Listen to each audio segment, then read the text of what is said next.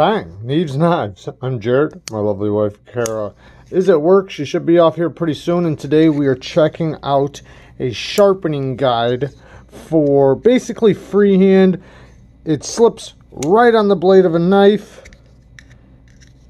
You can see I already marked where to put it on this knife. And then you use it as a guide. Now, I've tested it out before in the past. It works pretty good for kitchen knives and stuff like that. There are certain blade shapes that it can still work on, but you might have to do a little bit of freehanding to like, especially like on big bellied knives. It works best on knives that kind of angle down, kind of like a kitchen knife or um, lots of Spydercos. Spider crows will work good. Um, and there are a lot of blade shapes that do work good with it, but there are some that's just a little bit frustrating to get to the very top of, uh, or by the tip, basically. Let's get into it, and we, uh, we'll see how this, this thing works. So it's sold on Amazon as, for only a few dollars, as basically like a, a kitchen knife um, guide, or sharpening guide so we're going to try a couple different stones. I do not recommend using diamond stones with it though. I recommend water stones or um, aluminum oxide stones, possibly ceramic stones. Ceramic stones, eh, I mean, I'm sure they can work just fine, but you will have to put pressure with ceramic or a little bit more. We will start off with some super stones This is the Naniwa Superstone. I believe this one's like 400 grit. It's basically just a splash and go stone. So we're just going to use water. Takes a little spray. I've done videos on these in the past, but they're not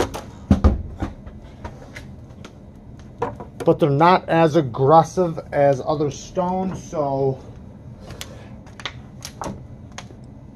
and the reason why I don't want the stone to be too aggressive is because this is plastic so even though it is smooth and it's made to slide across the stone eventually the stone will start getting to it. Now when you're putting it on you want to make sure you don't go like this and put it on because you do have a chance this thing could slip out and hit you in the finger always aim it away from you when you are slipping it into place. Now, the line right here is, I had already looked at it and set it on the stone, kind of figured out where I wanted it to land. Because I wanted to make sure I could get to the tip.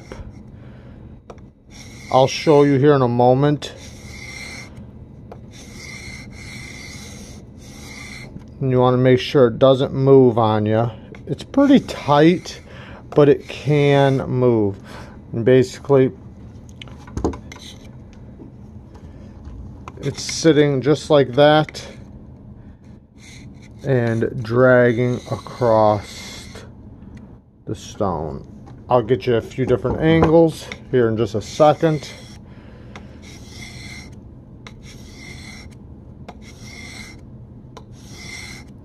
Now, I can recommend it to people that are wanting it for kitchen knives or certain blade shapes. Smaller knives, not so much. The bigger the knife, kind of the better. But this is not a big knife. This is the Real Steel Griffin. And it's about uh, an 8 inch knife, 3.5 inch blade. So it's not a massive knife or anything. See, we're already doing a pretty decent job. Let's get another splash.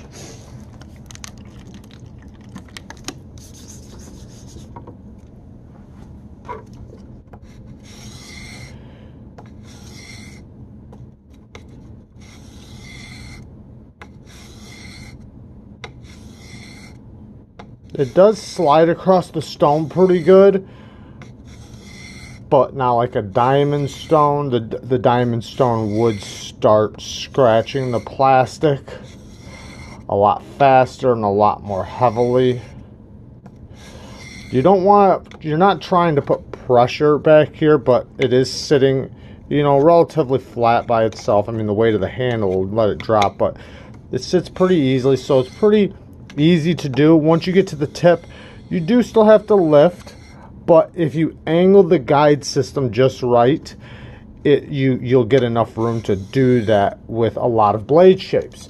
Now, some blade shapes you're going to be able to just do it right on the spine, like a big kitchen knife, which will be really nice. But for folders, you're kind of limited to certain ones. But it can definitely help you learn how to maybe get the feeling down of holding an angle and what it feels like to repeat the same angle. That is definitely for sure.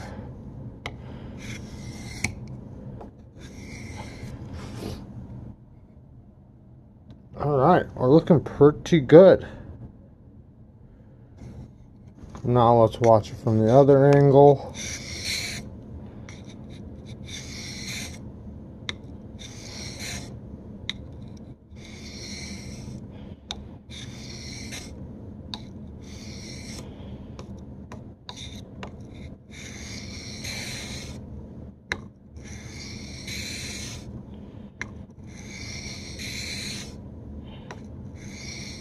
Kind of just got to push through that that little bit of noise you hear right there that's this rubbing the stone just a little bit.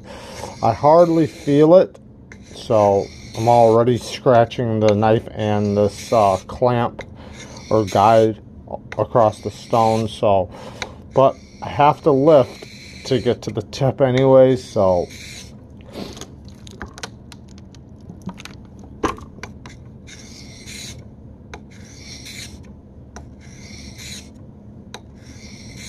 And you see, like, if I was going to use this to to uh, learn how to hold it, this wouldn't really work from this angle. From this angle, it does, but for me, not so much this way. I mean, I guess you maybe I don't know.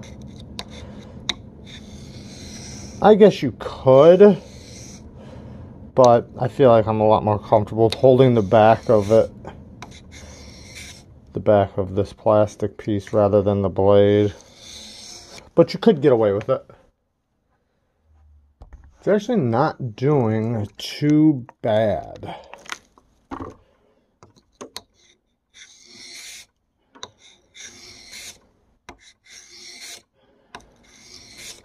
Let's look at our bevel. Not looking too bad.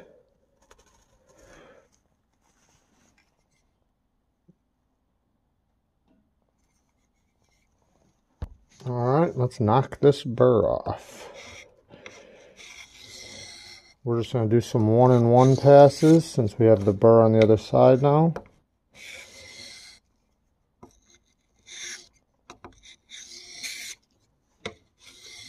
Just going to do it one-handed. Definitely helps somebody who's one-handed like I said, you're limited to certain blade shapes, I think. I think big bellies will work fine if it's a big knife. Possibly, but um but drop points work good. Um kitchen knives, small knives, not so much. They can as long as it's like a Wharncliffe or a sheep's foot possibly a drop point but I tried doing the rat 2 and it wasn't really working out. The rat 1 worked okay. Now this is this is the rat 2. I could not get it to work. Probably because it's just too short. But I couldn't get it to where I could hit the tip properly. Like I can almost perfect, almost get it all the way. But I'm missing the very, very tip of it. It's getting very close though, so it's almost getting it, but it likes to shift too. If you notice how it's kind of shifting. Let's try this. And then it wants to shift. So then you're going to want it to stay in the same spot every time. It's kind of getting it there. But you see it shifting, and if I would have made a line, it'd be all over the place.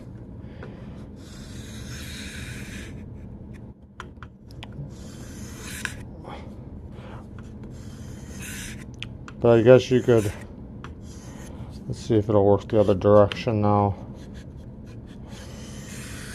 Yeah. Kind of. Yeah, I guess it is working. But yeah, it's working, but I just I just feel like it moves a little too much and I'm not uh, very confident.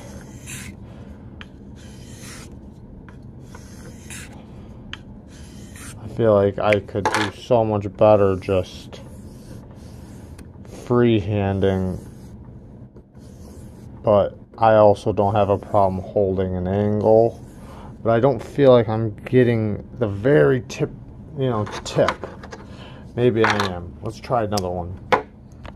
Let's see the rat 2.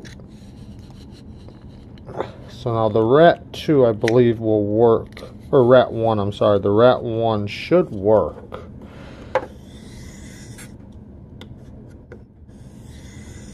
Yeah, the rat 1 works just fine. I just go down the stone then when I want to get to the tip I kind of tilt back so I'm basically just raising my elbow letting it rest raising my elbow going down the stone when I get to the tip I'm just raising my elbow so other side just raising my elbow dragging it just perfectly across then once I get towards the tip, I'm raising my elbow. That's it. So, you know, it should work for a lot of knives, but, you know, I, I would imagine if it has too big of a belly, it might not be the best guide. So, you know, something to think about. All right, let's check it out. Oh, yeah wipe the blade off. Not too bad. No, and like I said, you can use this guide on, you know, aluminum oxide stones, water stones, um, possibly ceramic. Um, I I tried them on the ceramic. The only problem I feel like is that I, I, put you know I use pressure on my ceramic. So, but you could definitely use them on ceramic. Just not diamond. That's the only thing. Not diamond stones. Let's see how bad it got chewed up. Not too bad. These aren't really aggressive stones. I mean, they, uh, it's not that, I mean, they're obviously aggressive enough to to cut the steel, this is 14C28N, so not an extremely hard steel, but I've sharpened M390, no problem on this. But it didn't seem like it really tore it up too bad. Let's check the plastic here. Let me look at it. Okay, so I see a little bit of wear right there.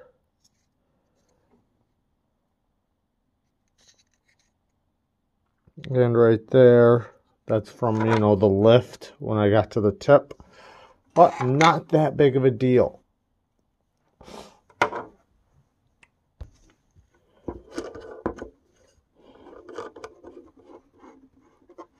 Finish this thing up, and then I'll give my final thoughts on it.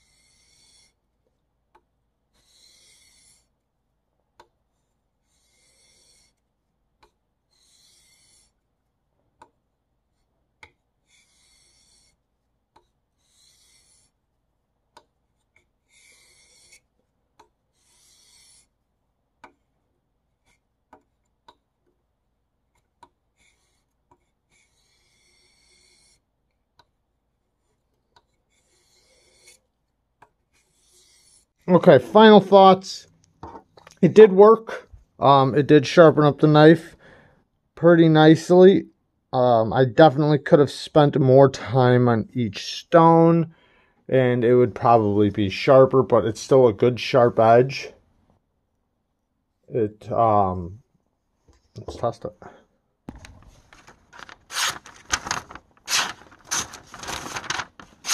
So it's sharp. It's not as sharp as if I would have spent a little bit more time on it, but the point was to show this, not how sharp I can get an edge. It would definitely get sharper if I spent more time on it.